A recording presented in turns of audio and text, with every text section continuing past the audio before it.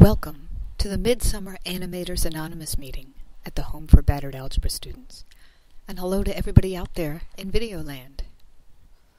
At the Home for Battered Algebra Students, we think math is like exercise. That everybody should do it. Everybody can do it. And it can be fun and empowering. On the other hand, just like exercise, if you go at it wrong, it can be painful, torturous, emotionally traumatic leading to dislike, even phobias, and for entirely too many people, a lifelong avoidance of anything associated with the torture. But it's not just about how much work is hard and how much is easy. There are so many math procedures. Our brains are like closets. Which kind do we want to have? So, tonight, our goal is to check out a Khan Academy video regarding exponents. Is it going to help us own our learning and organize our mental closets? Now, I know most of our members are watching online, but we've got two folks here. Oh, and the talking robot, too. Yes, I have been programmed to analyze student error patterns, to help teachers use appropriate instructional materials, and I am using a beta program that analyzes instruction and predicts student responses. Let's watch the video. Right, six times six times six times six times six times six He's times got a six nice, times clear six voice. in At least he's written the problem out already. In exponential notation. So what's going on over here? Well, we have 6 multiplied by itself how many times? Let's see, that's 6 times 1.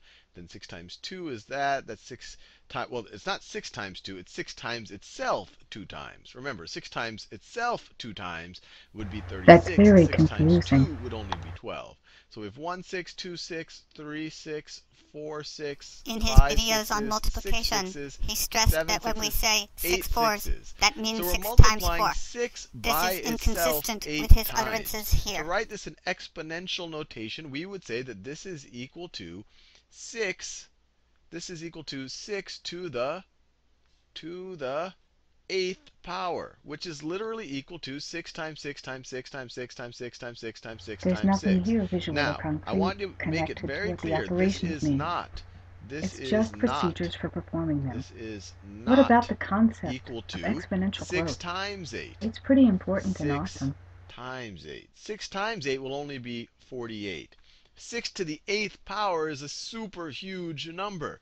6 times 6 is He 36. speaks most and you're gonna often in this multiply video that of the times procedures 6, not to which perform. is what? That's like 36 times, that's what, 216. And then you keep multiplying it by 6, you get some huge At the end of the number here. video, This number What's right the here, only actual answer that a worthwhile student is point seeing? this number The is wrong one. huge. The This multiplication number one. is huge. This My number new right programming here, predicting student not response so to huge. instruction It indicates is since it is what he says So the don't most get confused. and If you see emphasizes 6 the to the most 8th power, that students will assign the most times importance to remembering 8 times, not 6 times 8.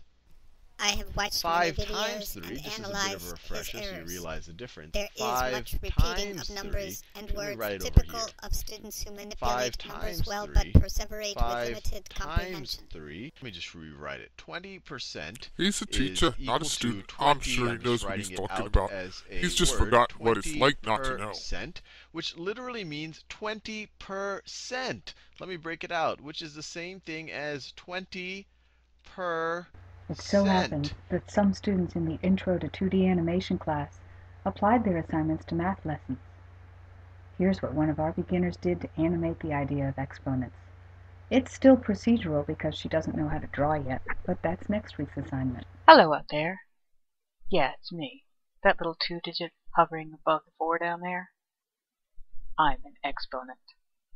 I'm not like a regular number. I'm up here because I have higher powers. That four down there, that's just a count up to me number. Me, I'm about action and power. Don't call me two! Read this as 4 to the second power, or 4 squared. Because when I use my powers, there's no number 2 involved.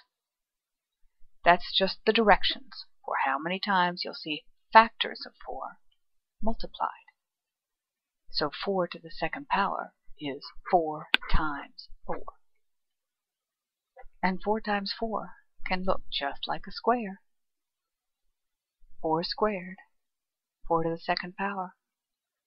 It's 16.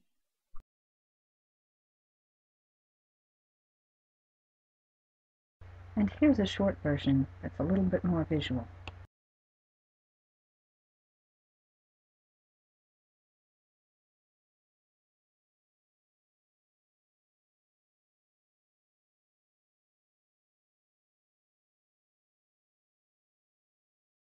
And this is a snapshot from a drag and drop exercise that they hope to turn into a game.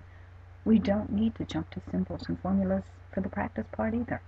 If we make things into games, we can have all kinds of levels in more than one direction so that students make the connection between the pictures and the symbols. And here's a revision of an early assignment. Yes, we value editing and improving here. Of course, taking 200 pictures isn't the most efficient way to show perimeter, but the point is that we jump too quickly to formula and recipes. Let's show what that 2W plus 2L really means.